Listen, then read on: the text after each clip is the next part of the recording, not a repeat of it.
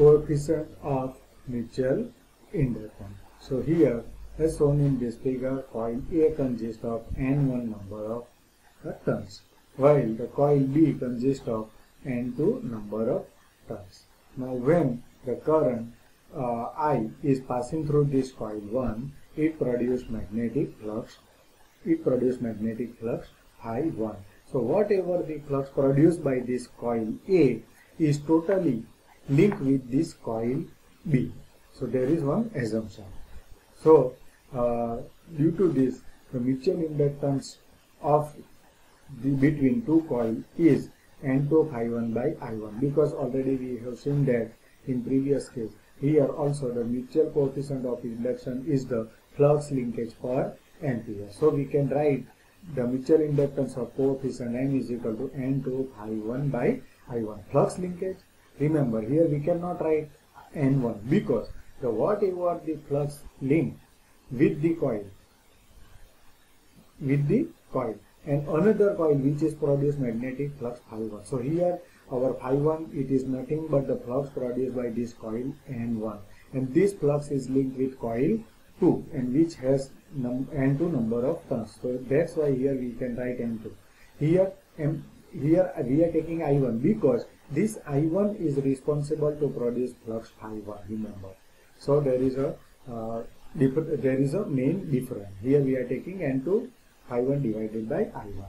If N2 phi 1 is equal to 1 Weber turn and I1 is equal to 1 ampere then mutual inductance M will be 1 Henry. So uh, from that we can write that thus the 1 ampere current passing through this coil A as a result it produces 1 Weber turn flux linkage in the coil B. So it is said to be there is a mutual inductance of 1 Henry between two coils that means coil A and coil B. Now we can write uh, mutual inductance coefficient in second way. Here the flux produced by coil A so phi 1 is equal to N1 I1 by S1 because MMF divided by reluctance. So here we are interested in to find out the flux produced by coil A. So that's why I am writing N1 I1 divided by S1. So we can write phi 1 divided by I1 is equal to N1 divided by S1. Now suppose, so this totally flux phi 1, it, it is linked with coil B which has N2 number of turns. So the flux produced by coil B, we can write N2 phi 1. N2 phi 1. So M is equal to N2 phi 1 by I.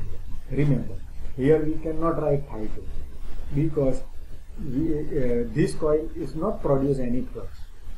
It uh, on EMF induced in this coil and for that flux phi 1 that means the, coil, the flux produced by coil A is responsible for that.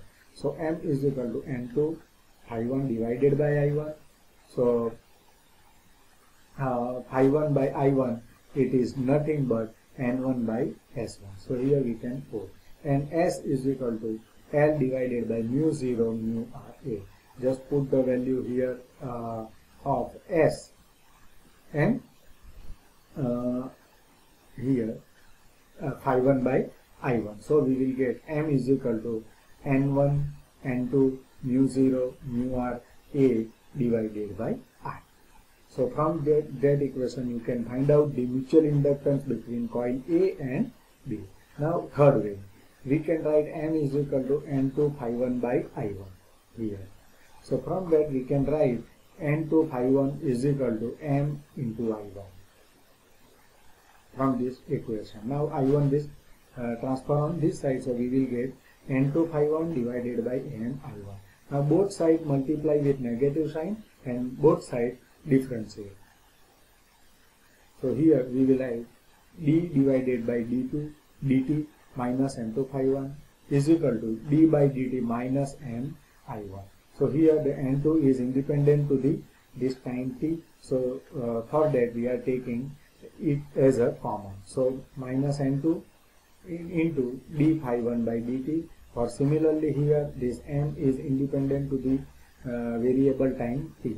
So for that we are taking it as minus 1 as a minus m as a common. So here minus m into d i1 by dt.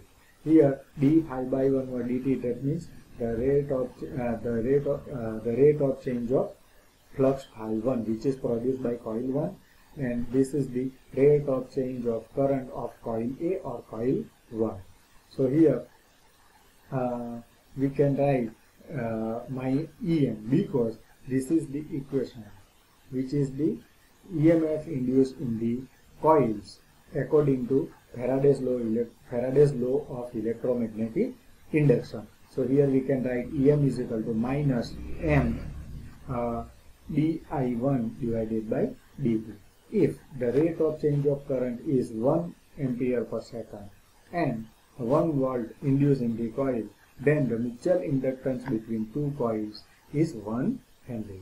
So here we can write uh, if the current of the one coil is changes of rate of 1 ampere per second then a 1 volt induced in the coil B or another coil then there is a mutual inductance of 1 Henry between these two coils A and B.